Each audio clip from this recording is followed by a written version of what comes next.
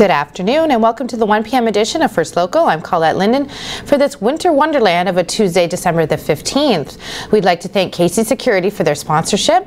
On this snowy Tuesday morning, we are waiting for Premier Doug Ford, who will be joined by Christine Elliott, Deputy Premier and Minister of Health, Solicitor General Sylvia Jones, and General Rick Hillier, Chair of the COVID-19 Vaccine Distribution Task Force. They're going to provide an update on all the COVID-19 vaccines rollout. But first, let's see if those snow brushes and shovels are required required for today. Let's check our Weather Minute for details.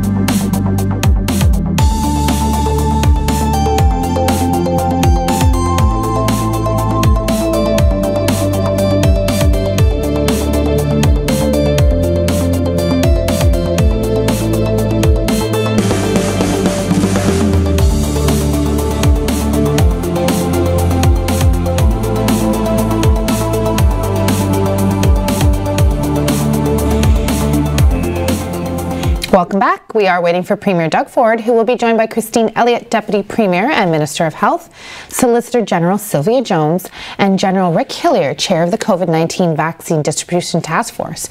Today, they're going to provide an update on the COVID-19 vaccines rollout. As you will see, I can see in the corner of my eye there that we do have the feed up from Queen's Park. And once we see Premier Ford um, approach the the table we will throw live to Queen's Park. The city's Public Works and Engineering Services Department would like to inform residents that the McDonald Avenue and Elizabeth Street stairs are closed until further notice. The closure is necessary following a recent inspection that identified structural and safety concerns. A repair of the stairs is planned in 2021. I do see that uh, Premier Ford is uh, ready to speak and we throw now to live at Queen's Park.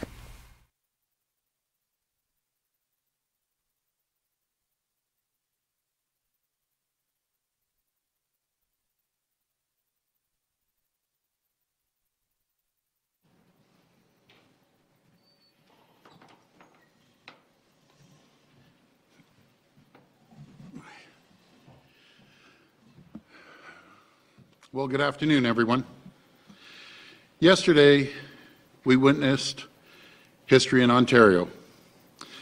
The first Health Canada approved vaccines were given out to five heroes, our frontline healthcare heroes, and I want to thank them. I want to thank Anita, the very first person to get a vaccination in, in Canada, Cecile, Lucky, Derek, and Colette at UHN. These folks have put the community, put them, put the patients ahead of themselves, ahead of their families. And I just want to thank you. And that goes for every single frontline healthcare worker out there that has been out there supporting all of us for the last nine months. Today, the first vaccine was given out in Ottawa to Joanne Miner, also a PSW all of them, the nurses, PSWs who rolled up their sleeves throughout this pandemic. And as we saw, they rolled up their sleeves yesterday. The Ottawa Hospital has started their first vaccinations today, and they expect to vaccinate approximately 100 people. As of noon, we've vaccinated approximately 142 frontline healthcare workers, over 80 at the University Health Network, and over 50 in Ottawa Hospital. And the University Health Network expects to vaccinate approximately 325 people today, another 325 people tomorrow. Folks, I showed up to the airport on uh, Sunday, uh, Sunday evening, to watch how everything was rolling out. And uh, General Hillier, uh, what, well organized, and, and both ministers, thank you. It was just incredible how uh, the, the folks were there. Uh, I want to thank the UPS for doing an incredible job, uh, General Hillier and, and uh, Solicitor General on, on the security aspect.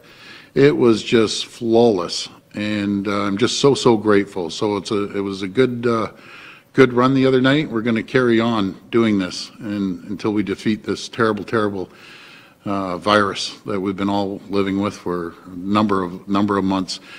But the good news is, folks, there's light at the end of the tunnel.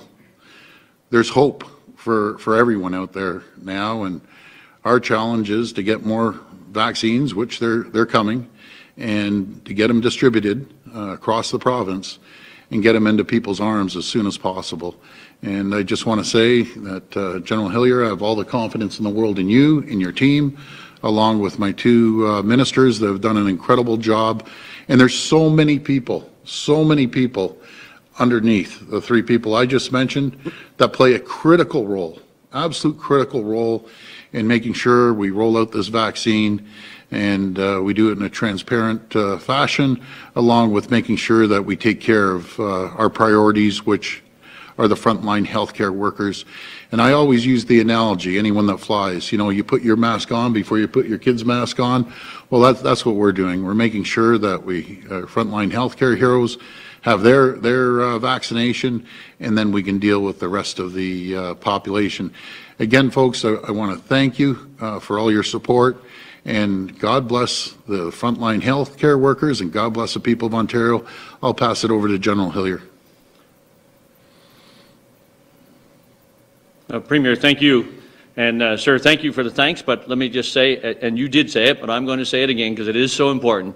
Uh, there are dozens, hundreds, and literally thousands of people making this happen in every single ministry across the government of Ontario and in every single part of the medical profession, and they've all got a role to play to making sure that needle can go in that arm with that vaccine in it and start, to, start the road to recovery that we all so desperately seek. Uh, you know, we started well. And when something starts well, I have a firm belief that you build confidence from that. Yes, you continue to learn from it. Yes, we'll have bumps in the road, but it started well. And, and yesterday to see those five people uh, get the needle put in their arm with the vaccination was actually, I got to say this, it was emotional. It was emotional. It was an incredible moment for us. And I think everyone in that, that entire task force of those thousands of people had a little cheer, a little yay that they had helped accomplish this and going to use it to go forward from here. We have the 1,500, dose, 1,500 people in each location in Toronto and in Ottawa that will receive the vaccinations over the rest of this week. It started well this morning. We expect that to keep rolling. We expect that then we, we have the second dose of uh, of the vaccine ready for them some 21 days down the road. And when they're making appointments for this first vaccination, they're getting an appointment for 21 days after they receive it also. We expect that anywhere in the next two to three weeks before the end of December, we'll, see, we'll receive up to 90,000 more Pfizer vaccines, and we'll roll those, those out to some 19 different sites across, uh, across Ontario, including University Health Network, where we've started, and the Ottawa Hospital. We, we have heard that the Moderna vaccine is close to being approved. We don't know when it will be, but we await anxiously for it, and we're ready to roll when it does arrive itself. So I just want to also say thank you. And have you ever questioned the prioritization that the Government of Ontario has given to those in most vulnerable circumstances and our healthcare workers. All you had to do yesterday and today is listen to the stories of those receiving the vaccine and those giving the vaccine and knowing that they've been on the front lines of the war against COVID-19 for the last 10 months. They worked in frightening, dangerous circumstances and situations, and they did it because the people that they worked with uh, depended upon them, truly, they, their lives depended upon them, and that's why they're in the front of the line, and we want to roll it out to them as efficiently and as equitably as possible. Premier, thank you. Thank you. We'll go to the phone line for questions. First question, please. First question is from Cynthia Mulligan at City News. Please go ahead. Hi, Cynthia. Hi there, Premier. Um, I'm wondering what your plan is for the Moderna vaccine, which can be transported more easily. Where will it go first? Uh, will it go into long-term care homes in hot zones, for example, first? And how many do you think that you could potentially have vaccinated by the end of this year? General? Uh, so, Cynthia, yes, It'll go into the long-term care homes first, those in greatest need, in hot zones, in lockdown zones, those who've had the COVID-19 tragedy visited upon them, perhaps those homes where the province has had to intervene to assist them through the tragedy. And, and we, we use all the data available to us to make sure we select those homes in a order of priority. The Moderna, when we get it, and whatever uh, numbers we get the doses, we'll go to those homes and perhaps some retirement homes that are in exactly those same circumstances. So we want to get at those most vulnerable first, and then, and, and then ensuring at the same time that all the workers that work with them are vaccinated also. Uh, I can't give you a figure of how many we will have vaccinated by the end of this year because we don't know how many Moderna uh, vaccines are coming to us. We don't know when they will arrive, and we don't even know when it's going to be approved. But we're ready when they come, and we're going to move them as quickly, as expeditiously as we possibly can. Follow up? Thank you. And General, can you tell me what is the maximum number of doses once you get a whole shipment? I mean, we're supposed to get a, a 168,000 Moderna. I, I know that's nationally, so on, Ontario will get its portion of that per capita. What?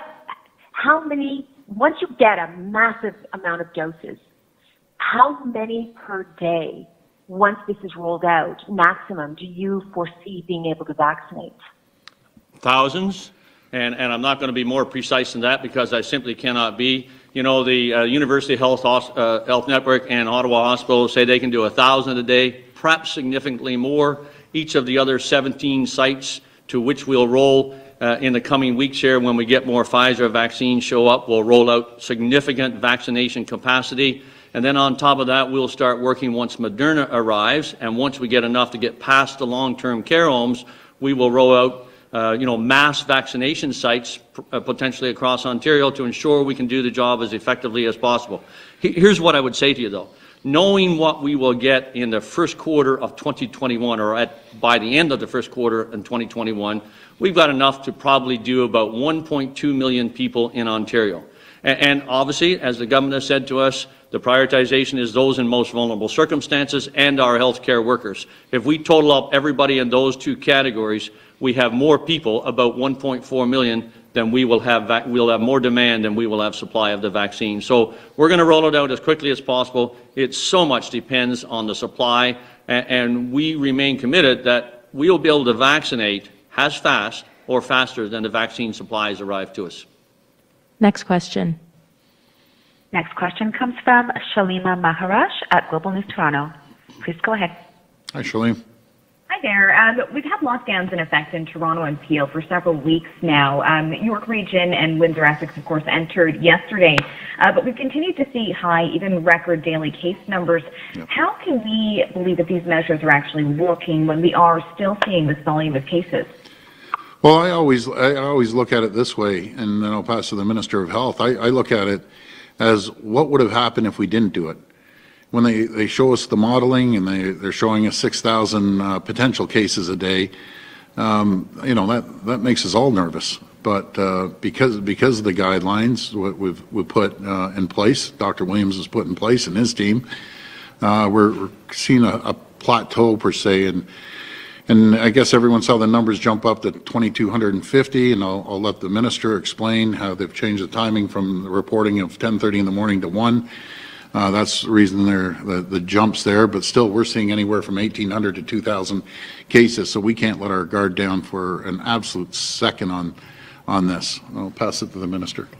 Well, thank you, Premier. And we know that um, based on the modeling, had we not done anything or introduced any uh, more restrictive measures, we would have been looking at daily case counts of about 6,500. Uh, so we we haven't reached, achieved those levels, thank goodness. But it is uh, still a disturbing number to have the number of cases uh, over 2,000. But part of the reason is because um, two regions switched over to the new system, and uh, an additional two and a half hours were counted with the case counts. So that explains some of the increase, uh, which is just a, it's just a new calculation based on going into the new system. But those are still disturbing numbers. And we do know that in some areas people are still not complying with the public health rules and regulations. We do have um, enforcement officers out there and people by law enforcement officers the police in some situations, because it's really important that people not get together in gatherings larger than their own household. That's how we have the community transmission that we have. That's what we really need to stop. So we're really asking people to please, please continue to follow those rules, maintain physical distancing, wear a face mask if you uh, are not able to do that, wash your hands frequently, stay at home if you're not feeling well, and please just celebrate the holidays with your own household. Follow up? Um, we're hearing about Hamilton's Lime Ridge Mall um, extending shopping hours in anticipation of people coming in from other regions that may currently be under lockdown. Are you worried about the influx of people leaving their zones to get their Christmas shopping done in another? We'll pass that to the Minister of Health. Well, absolutely, yes. We are really encouraging people not to travel from a lockdown zone to a, a zone that ha- is at a lesser level, even though Hamilton is in the red. Uh, but it's still, we want people to stay in place, stay in your own homes as much as possible, stay with your own household group. Uh, we, uh, it's, it's sort of the, the stay home time of the year. I know people want to celebrate, but this time next year, uh, will be very different. We will be able to resume our holiday celebrations, but for right now, please don't go shopping in other areas that are lower zones. That just increases the community transmission, increases our numbers, and puts more strain on our hospitals to deal with it. Next question. Next question comes from Haley Cooper at News Talk 1010. Please go ahead. How are you doing, Haley? so much. Hi, Premier. We wanted to ask you about the Canadian Teachers Federation. It's calling for teachers to be prioritized in the next phase of vaccinations, saying that they put themselves at risk every day. So, do you think that they should be prioritized ahead of other workers al- already under consideration for the next phase? Well, it's an opportunity, uh, again, to, to thank the teachers. I, I can't stop thanking them because they've done an incredible job. Got to thank the principals and the vice principals, the schools I visited.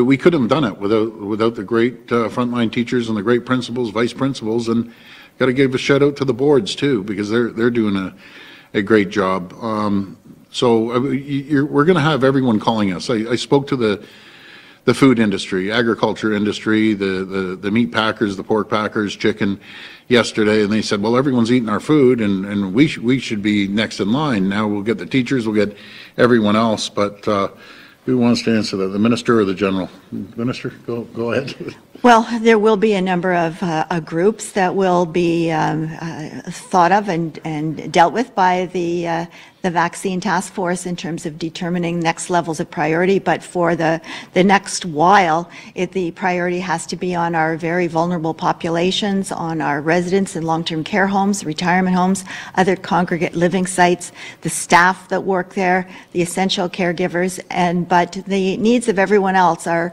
are high priority and will be dealt with by the task force making recommendations to us as cabinet. Follow up? Thank you. And my follow-up is uh, for both you, Premier, as well as Minister Elliott. Um, we've talked with several experts in the field of alcohol addiction who are seeing a dramatic increase in people relapsing during this pandemic. So will there be government investment in treatment programs in the months to come? And is there any discussion about how to help these people back on the road to recovery? Yeah, that's a great question. It came up in our briefing uh, today in the multi-year planning uh, meeting, and I emphasized how important uh, mental health and addiction is for people. And, and again, I just want to remind folks, we're the first government ever to have a minister of mental health and addiction. We're also putting more money than any government in the history of this country, with the help of the, the federal government too, $3.8 billion over the next 10 years. But it, it is critical. I'm hearing the exact same story, and we want to be there to support these people any way we can, uh, because you know nothing uh, is worse than than uh, when if you have a loved one, a family member that may have uh, some challenges on mental health and and especially addiction. It, it doesn't just affect the people that have the addiction. Trust me, it affects the whole family and uh, we're going to do everything we can. It's very close to my heart, and we'll do anything we can to make sure we get people back on their feet and uh, really, really help them out because it's no fault of their own. They're struggling. But, uh, Minister? Well, uh, it's a matter very close to my heart as well, and this is something that is very serious. We've seen uh, uh, addiction rates in terms of alcohol and, and other drugs as well increase as a result of COVID because people haven't been able to access their normal um, sites for support, even looking at something like AA, for example. For a period of time, they, uh, they didn't have a place even to gather, to, uh, to get together to support each other. So we're trying as we, even as we deal with lockdown provisions, we want to make sure that people can get the help that they need.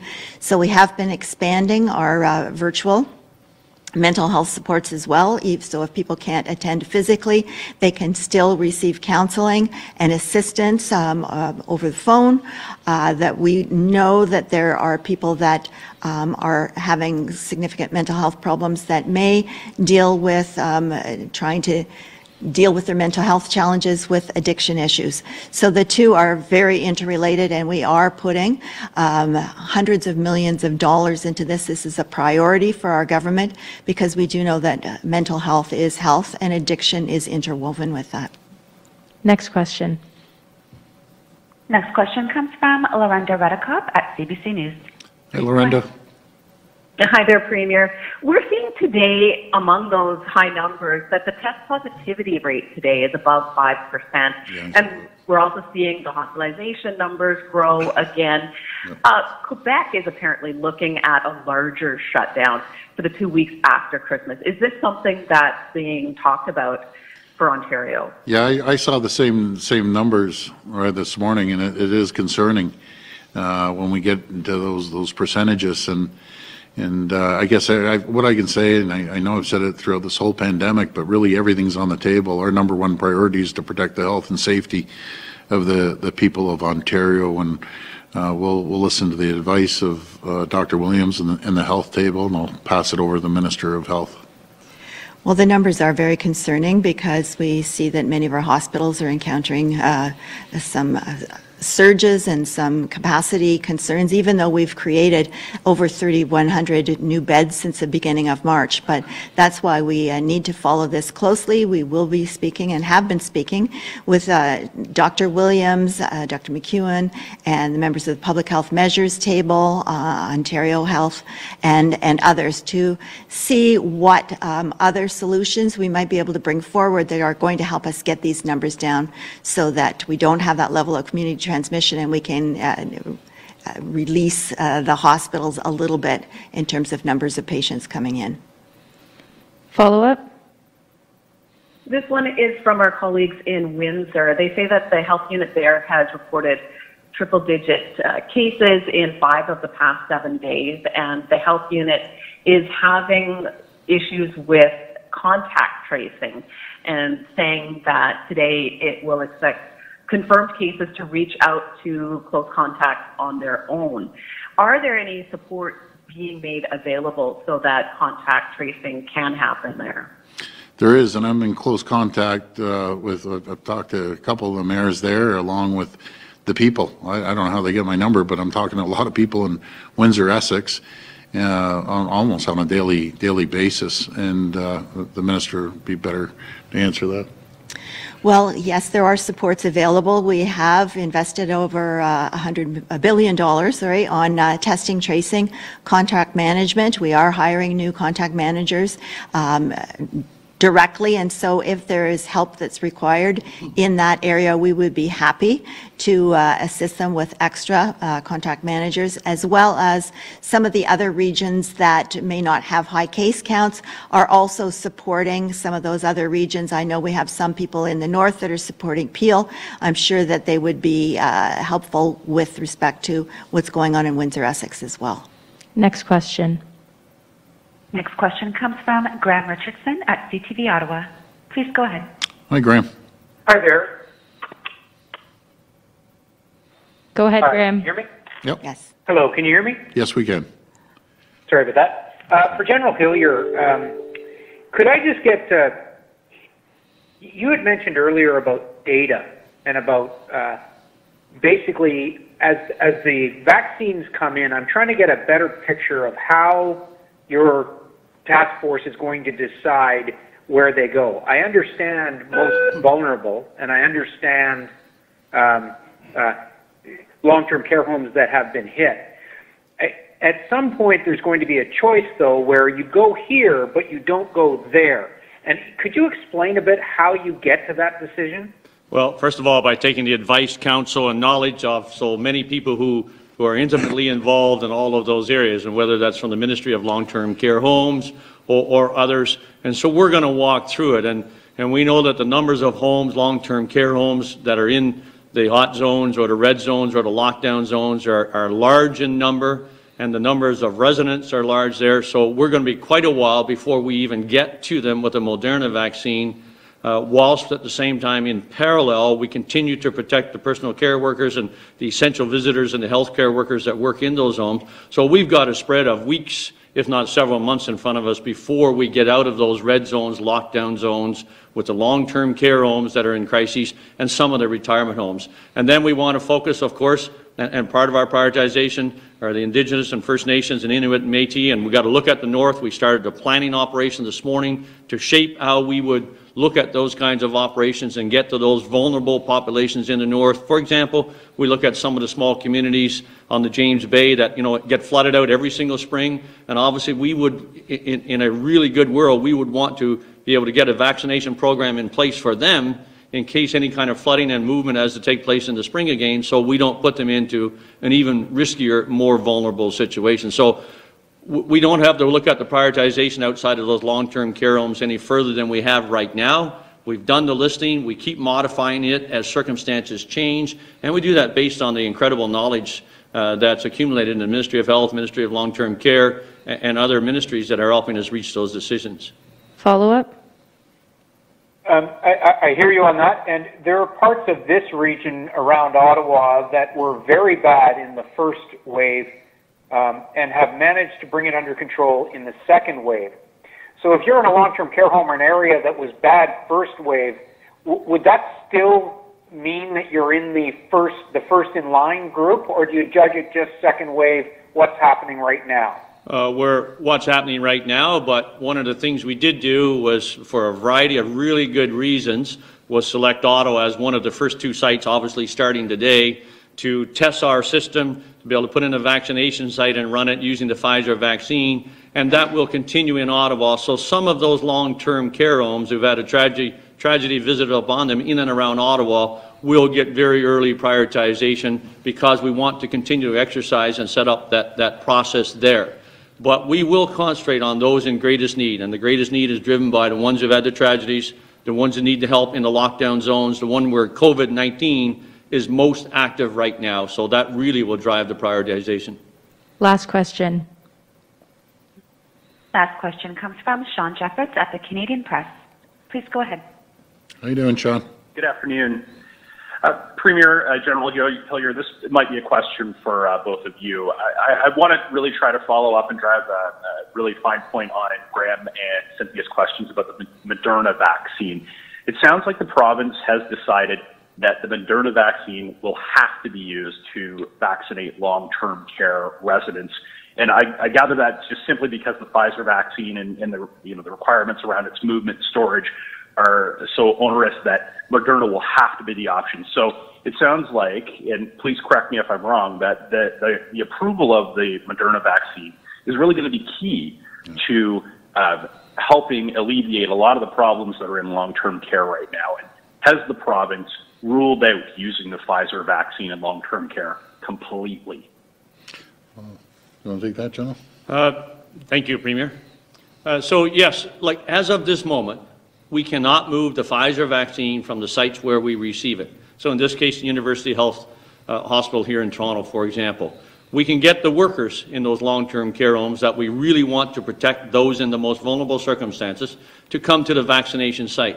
But we have made a decision that to has to try and move residents from those long-term care homes to the vaccination site increases the risk so dramatically that we would not want to do it. Uh, we, we, we've been told by the medical professionals that by doing the essential workers, the staff of the home, the essential visitors, and the healthcare workers that go in there, we can probably increase the protection by over 90% because that's the vector that carries the virus that causes COVID-19 into the home. So, yeah, the Moderna is going to be our first go-to vaccine to allow us to go into the long-term care homes. We may receive some greater flexibility on the Pfizer vaccine in the weeks to come. We don't know that for sure, uh, but we remain hopeful that that will change. And thirdly, there may be another vaccine besides Pfizer and Moderna uh, approved in the near future that could also give us that same kind of flexibility. In the interim, as soon as we get Moderna, we are going to start with vac- vaccination sites in those long-term care homes. Follow up? And Premier, maybe you can answer this. Um, you know, obviously we're talking a lot about vaccinations over uh, the, the last few days. Very important, very positive news. But we're also seeing um, the uh, the death toll rise in long-term care right now. And uh, I think a lot of people are going to wonder what your government is doing to address that in the near term, since it's going to take months to get that vaccine distributed across the province. And um, I'm wondering if there are additional actions that you're considering right now specific to long-term care. Well, there's many actions, and before I hand it over to the Minister of Health, uh, one one action is making sure that we get the the frontline heroes because they are heroes, and inadvertently bringing it into the long-term care homes or the caregivers. Inadvertently, uh, we we have to make sure that every single person is tested every single week. So you know you you, you, got a leak in the roof, you got to you got to plug the leak, and uh, one of the leaks is, is when people are bringing the the uh, pandemic or the virus, I should say, into these long-term care homes. Uh, that's one of the critical critical areas, but uh, we're also uh, adding a lot of support through through hospitals and the and the health teams, and I'll pass it over to the Minister of Health. Well, to uh, just carry on a bit from what the Premier has just said, there are rapid tests that are out there now. The uh, Abbott test, the PanBio, which is a screening test, and the ID Now, which is more of a diagnostic test. But we are doing a pilot right now, testing um, people who work in long-term care homes with the PanBio test to determine if they have any uh, evidence of, of COVID. If that uh, test comes back positive, then the, the regular test is done uh, to determine if somebody does have COVID. And then, of course, they will be asked to, uh, to, uh, to go home or they may need medical help themselves. So that's one way that can, we can start to screen to make sure that the people that come in, essential caregivers as well, that they aren't carrying COVID into the home. We also are making sure that we uh, supply the staff with the necessary PPE if they are performing any aerosol generating procedures on any of the residents, that they will have the N95 masks to be able to wear to protect their own health. And every long-term care home now, as recommended by the commission that's, that's studying this, um, every home is now associated with a hospital. So if there's an evidence of uh, a large outbreak in a long-term care home, that the hospital can come in, provide assistance, in some cases take over management, either voluntarily or sometimes involuntarily, to get the uh, outbreak under control. So we've put a lot of mechanisms in place to um, keep the residents of long-term care homes safe until they're able to receive the vaccine. One, one, one last note, I've been getting a, a lot of calls about the format. We've changed the format. A lot of people like the one o'clock. And uh, I, I know on social media, well, we're taking a break. I, I can assure you, all these people at the table, and for, for 10 months, uh, we, we aren't taking a break. Uh, we changed the format a bit, uh, but we're out there, and I can promise the people of Ontario, every single day you're going to see me uh, out there. I'm not stopping through Christmas. We aren't taking any breaks at all. This is game on, and uh, I, again, I'm not leaving the office till midnight every night, so I'm not taking a break. No one's taking a break. We're going to be out there working hard around the clock.